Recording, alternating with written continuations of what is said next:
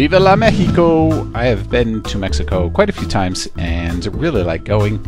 I enjoy hanging out. Mexico kind of becomes the place where I go just to get away and chillax. Haven't explored a lot of the cultural history of Mexico as much as I would like to, and maybe at some point I'll get more time to spend to actually explore cultural background of Mexico.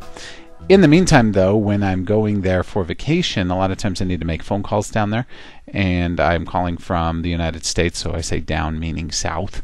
And when I call, I need to know the country code. It's 52. That's the country code for Mexico. So to call Mexico directly, I just call this number. I dial the international dialing code if I want to call from a landline. I actually use a different way to call Mexico, which I'll detail in just a second. But 011 is the international dialing code, and then 52 is the country code, and then the phone number that I want to call. So again, from the United States, 011 and then 52, the country code for Mexico. But I wouldn't really recommend calling direct. Your phone company will charge you a lot of money. If you want to call a phone number, I really recommend using Skype. We detail how to make free and low cost calls using Skype in other videos.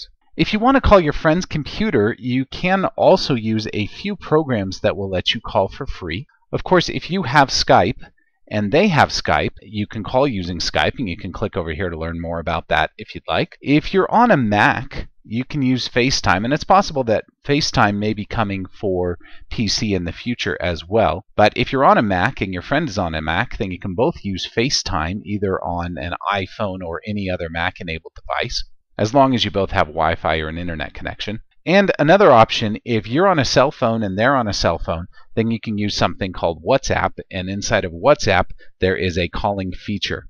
Now you can click on any of these that we've detailed here, and you'll be able to go to a video that we've made about each of these so that you can learn more about how to use any of these apps for free calling and as long as you and your friend have them, you'll be able to make free calls using these tools. If you liked this video, please be sure to give it a thumbs up below.